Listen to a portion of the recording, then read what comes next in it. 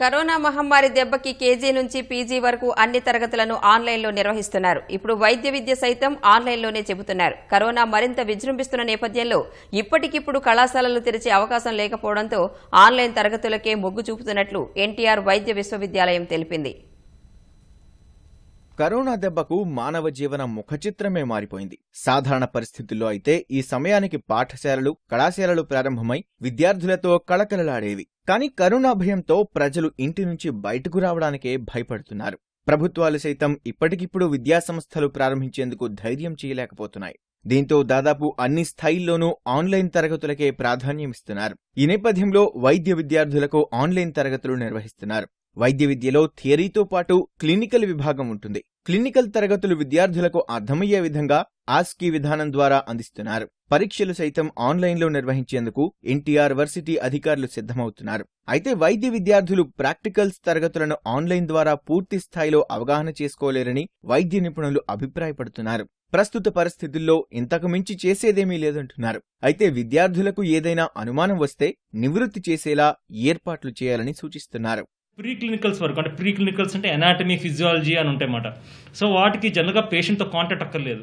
అవి వరకు వాటి వరకు ఆన్లైన్ క్లాసెస్ చెప్పి వాటి ఆన్లైన్లో నేర్చుకుంటాం అనేది దానివల్ల నష్టం ఏం లేదు యాక్చువల్గా ఇంకోటి మన క్లినికల్గా వెళ్తే క్లినికల్ నాలెడ్జ్కి వెళ్తే హాస్పిటల్ రౌండ్స్ అట్లా వేసినప్పుడు ఈ చదువుకున్న మెడిసిన్ కానీ సర్జరీ కానీ ఈ గై ఈ గైనకాలజీ కానీ ఇవన్నీ మేము చదువుకున్నప్పుడు మా టీచర్స్ మాకు చెప్పినప్పుడు మేము పేషెంట్ దగ్గరికి వెళ్ళి మేము వాళ్ళ దగ్గర కేస్ హిస్టరీ తీసుకొని కేసు చూసుకొని మేము చదువుకున్న నాలెడ్జ్ని వాళ్ళ చెప్పే సిమ్టమ్స్కి ఇంప్లిమెంట్ చేసుకుంటేనే వైద్య విద్య అన్నమాట అది.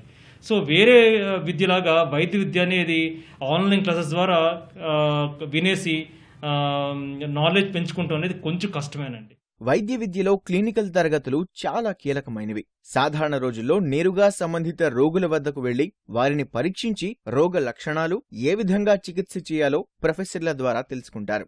కోవిడ్ నేపథ్యంలో క్లినికల్ తరగతులు సైతం ఆన్లైన్లో బోధిస్తున్నారు. దీనికోసం ఆస్కీ విధానం తీసుకొచ్చారు. దీనిలో రోగి ఎదురుగానే విద్యార్థి ఉన్న అనుభవం కలుగుతుందని వర్సిటీ అధికారులు చెబుతున్నారు. ప్రస్తుతం పీజీ ఎంబీబీఎస్ విద్యార్థులకు గూగుల్ రూమ్ ద్వారా విద్యాబోధన జరుగుతోంది. ఆగస్టులో వార్షిక పరీక్షలు జరగనుండగా ఎంబీబీఎస్ విద్యార్థులకు ఆన్లైన్లోనే నిర్వహించనున్నారు. పీజీ విద్యార్థులు తక్కువ మందే ఉండటంతో కళాశాలల్లోనే ప్రత్యక్ష పరీక్షలు నిర్వహించేలా ప్రణాళికలు సిద్ధం చేస్తున్నారు. ఆన్లైన్ క్లాసు మన కింద ఉన్న దాదాపు affiliated colleges two eighty two క్లా కాలేజెస్ మన కింద ఉన్నాయి. సో అన్నిటికీ కూడా స్టార్టింగ్ ఎండిఎస్ పీజీ వైద్య విద్య దగ్గర నుంచి కింది స్థాయి పారామెడికల్ వరకు అందరికీ కూడా ఒకటే ఆన్లైన్ విద్యని అందించాలని గైడ్లైన్స్ మేరకు మేము ప్రయత్నిస్తున్నామండి. ఫ్యాకల్టీ ఎక్కడ మా కింద పనిచేస్తున్న ప్రైవేట్ మెడికల్ కాలేజెస్ అయితే ఉంది గవర్నమెంట్ మెడికల్ కాలేజెస్ అయితే ఉంది వాళ్ళు ఒక షెడ్యూల్ వేసుకుంటారండి. మన ట్రెడిషనల్గా ఎలా థీరీ క్లాసులు ప్రాక్టికల్ క్లాసులు ఎలా షెడ్యూల్ వేసుకుంటారో అలాగనే షెడ్యూల్ వేసుకొని దానికి తగ్గట్టుగా టీచర్స్ ప్రతిరోజు వాళ్ళు వాళ్ళ షెడ్యూల్ ప్రకారము ఆన్లైన్లో క్లాసులు తీస్తారండి. సో దీంతోపాటు మనము ఎగ్జామినేషన్స్ కూడా కండక్ట్ చేసుకోవాల్సిన అవసరం ఉంది. దాని ప్రయత్నంలో ప్రస్తుతం ఉన్నాము ఇప్పుడు ఆన్లైన్ తరగతులకు విద్యార్థులు హాజరవుతున్నా కరోనా తగ్గుముఖం పట్టిన తర్వాత తప్పకుండా క్లినికల్ పై దృష్టి పెట్టాలని నిపుణులు సూచిస్తున్నారు. ఆసుపత్రులకు వెళ్ళి ప్రత్యక్షంగా రోగులను పరీక్షిస్తేనే నైపుణ్యం పెరుగుతుందన్నారు.